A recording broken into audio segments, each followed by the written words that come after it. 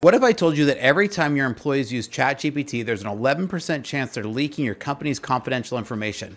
What if the AI systems you trust to protect sensitive data are actually worse at keeping secrets than a gossipy office worker? What if I showed you research proving that AI models are getting duped by phishing attacks more easily than your grandmother? According to new studies, 4.7% of workers have already pasted confidential company data directly into ChatGPT, and enterprise adoption of AI sits at a pathetic 10 10% precisely because nobody trusts these systems with real data. Today I'm breaking down the cold hard truth about AI data security and spoiler alert, it's way worse than you think. So let's dive into it today.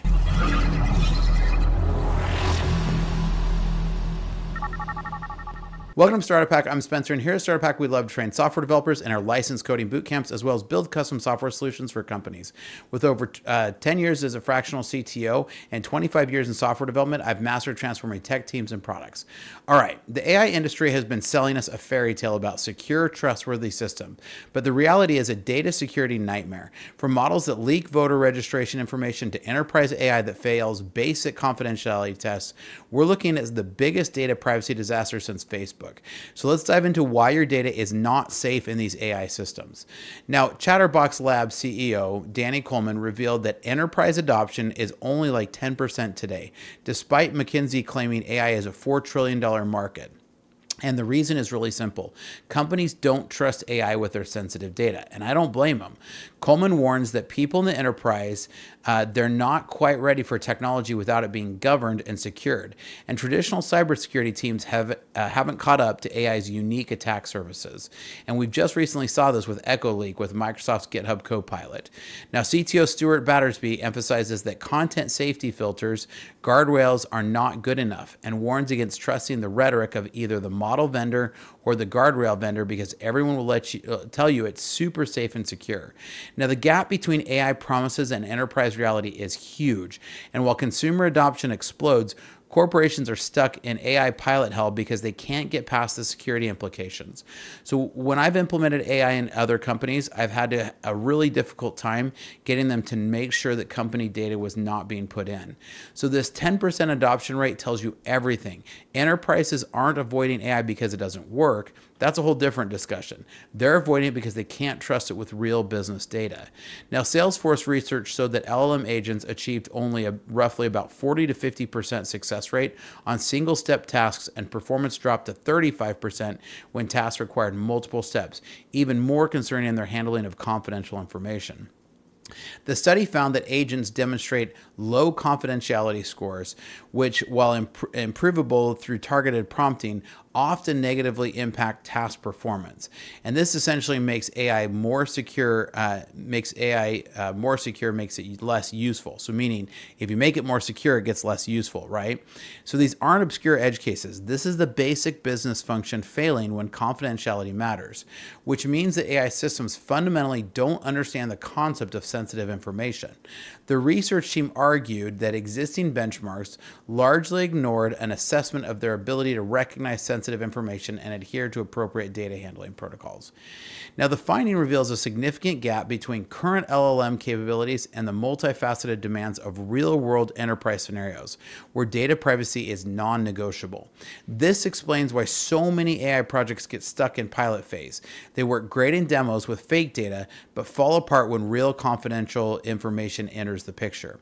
Now, in 2023, and I get that a lot has changed since then, but a study of 1.6 million workers found that that almost 5% of employees had pasted confidential data into ChatGPT, and 11% of data employees pasted into ChatGPT was confidential. Now, I'm guessing that number has actually gone up since 2023 because every conversation I have with people says that they're pumping uh, information into these large enterprise uh, systems. And, that's the problem. A lot of people are using either free or small paid versions, not the expensive enterprise versions, and yet pumping tons of company data into them. So the, this study that I'm referencing showed that the average company leaks sensitive data to ChatGPT hundreds of times each week, including internal data, source code, and client data, without any oversight or awareness from IT departments. Now, According to the same study, it's common for users to inadvertently insert personal information while trying to get the LLM to give more context for a question. So I know a lot of salespeople who will pump in tons of customer records trying to get it to specialize uh, the prompt for this particular customer. So this isn't malicious behavior. It's well-meaning employees who are trying to get better results from AI tools by providing more context, not realize that they're sending proprietary or even PII data into this external system.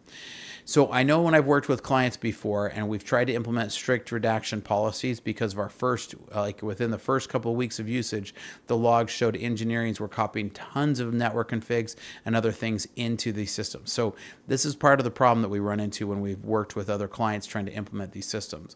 The scariest part about this data is that it doesn't just disappear. It potentially gets incorporated into models, uh, into their training through reinforced learning, meaning your confidential information could end up in future model responses.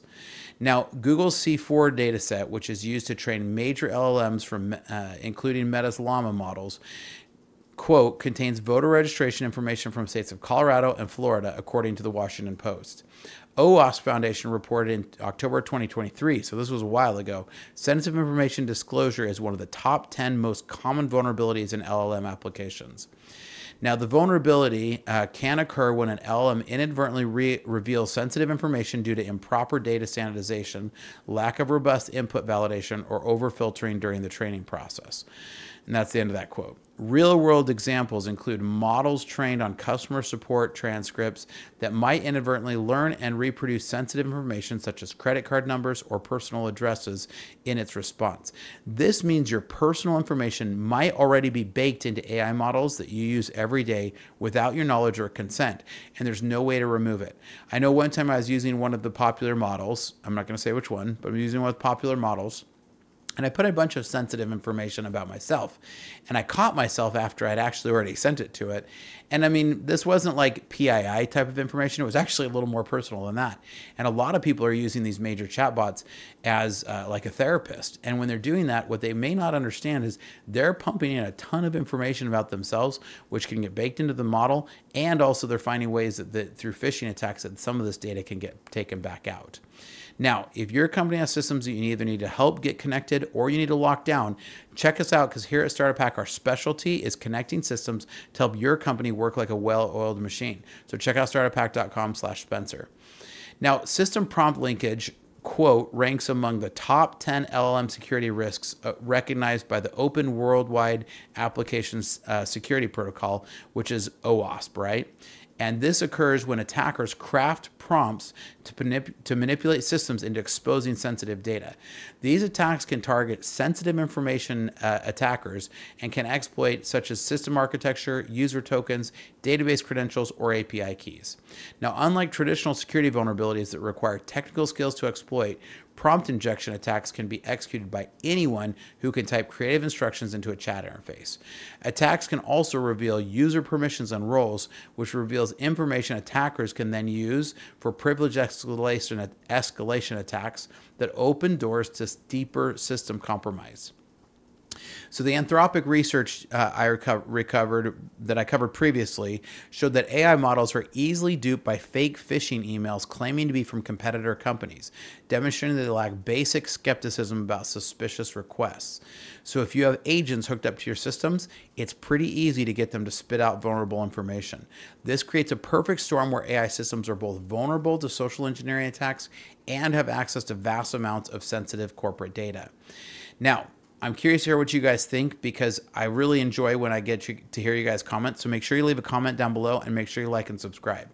Now, model data leakage occurs when your model returns output, which exposes sensitive data used as training input.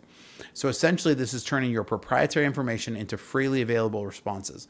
This vulnerability can compromise any type of data you enter into your LLM training data, including personal identifier information identifiable information or PII data, biometric data, financial information, and healthcare data.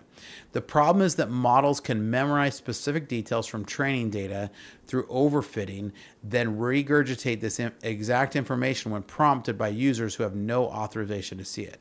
So unlike traditional database breaches where attackers need system access, model data leakage can be triggered by anyone with normal user access who knows how to craft the right type of prompts. Test data leakage compounds this problem by exposing information about the database used to validate model performance, giving attackers insight into your data sources and testing methodologies. This means that any sensitive data you, that you use to improve AI performance becomes a potential leak vector, creating a fundamental tension between model accuracy and data security. Now, a company by the name of Sentra warns about overly permissive configurations where LLMs can be configured to allow users to provide inputs that may contain sensitive information without adequate filtering or standardization. OWASP, again, this is something that you're using if you're trying to do SOC compliance or HIPAA. OWASP is one of the main security uh, protocols that you use. And OWASP 10, top 10 for LLM application identifies LM, LLM 08, which is excessive agency, as a critical risk where models may perform actions beyond their intended scope or generate outputs that cause harm. A recent example of this is the Echo leak that hit Microsoft uh, GitHub, this uh, Copilot that could be hitting a lot of other systems right now, but they aren't telling us that. And that's part of my concern here. Many AI implementations give models broad access to corporate systems and data repositories without limiting access, and that reduces their effectiveness, right? Because if you limit their access, it's going to reduce their effectiveness. So a lot of people are doing the opposite and giving them way more access, which then becomes a security nightmare. This can manifest as supply chain compromise and excessive permissions to AI powered apps that can erode trust, damage reputations, and even lead to a legal or regulatory repercussion. The fundamental architecture of many AI systems requires extensive data access to function properly, making it nearly impossible to implement proper least privilege access controls. So I know what OWASP continues to talk about more, and OWASP has a ton of different vulnerabilities that lists out. So if you go and check out the o, the OWASP LLM, uh, if you're digging into security, this is something you definitely need to become versed in. Now, there because there's a lot of different things that you can get into with this right so a lot of the security concerns uh, security uh, practices out there are warning that content safety filters guardrails are not enough. So people are saying hey this is the content that we're putting on the guardrails. But it's really easy to manipulate the llms to spit out more and go past those. The key problem is that even authorized users of an ai system can make it do damaging things meaning traditional access controls might miss the biggest threats so most organizations apply conventional security, uh, cybersecurity frameworks to AI systems without understanding that AI introduces an entirely new attack surface that existing tools weren't designed to handle. That complexity requires comprehensive approach, including data hygiene, policy enforcement, access controls, and continuous monitoring. So, in my experiences, companies often assume their existing security infrastructure will protect AI implementations, but AI systems break down traditional security assumptions about how data can flow. Organizations need, need real time monitoring tools to identify suspicious activity, but current systems weren't designed to detect AI specific attack patterns like prompt injection or model manipulation. Proper protection requires monitoring and near real-time alerting to suspicious identity uh, to specific to suspicious identities and such of those activities, right? This includes data exfiltration to thwart attacks or malicious behavior early. These are some quotes from some of the OWASP security manuals. Now, traditional security monitoring focuses on network traffic and file access, but AI threats often manifest as unusual prompt patterns or subtle changes in modern behavior that slip under the radar. One of the things that cybersecurity professionals need to be doing in their corporate environments is making sure that they are routinely checking the logs of what's going into and out of AI systems through your system. And if you don't have logs around these and you're not blocking off certain ones, then I can almost guarantee you that sensitive data is getting leaked out of your cor- corporate uh, structure. So this means that if you're not, if you're going to use Gemini 2.5 Pro and you're allowing that, then you need to be able to have logs set up for it and be blocking ChatGPT and Claude and all the others. This is what becomes critical right? Many AI security breaches only become apparent after sensitive information was already exposed. And if you don't think data is getting exposed, you're not watching. The urgency is very clear for any CISO and any cybersecurity experts and any IT uh, uh, experts out there. The challenge is that AI holds immense potential to transform our world, but it develops its development and deployment must be accompanied by a steadfast commitment to data integrity and privacy. Organizations must recognize that LMs can leak data through various vulnerable points and attack vectors, and this includes their own employees. The fundamental problem is that current AI architectures prioritize functionality over security. Retrofitting security into systems designed for maximum data consumption is like trying to add privacy to Facebook. The business model conflicts with the goal. So, success requires implementing data protection best practices and comprehensive approach to data security and privacy specifically designed for AI rather than adapted from traditional policies. As AI capabilities expand and more businesses depend on these systems for critical operations, the potential impact of data breaches will grow exponentially while our ability to prevent them is going to continue to lag behind. Now, what do you guys think? Do you agree? Do you disagree? I love to have a great discussion. Here at Startup Hakk, we love to train software developers in our coding boot camps, as well as to build custom software solutions for companies. So reach out because we'd love to help. We can help your company work to maximum efficiency by connecting your systems in a safe and secure way. So check out startuphakk.com slash Spencer, and here's some great information about some of our services. Hi, my name is Spencer Thomason, and I'm a fractional CTO. With over a decade of executive leadership and a solid 25 years in software development, I've mastered the art of transforming technology teams and products. So, what is a fractional CTO?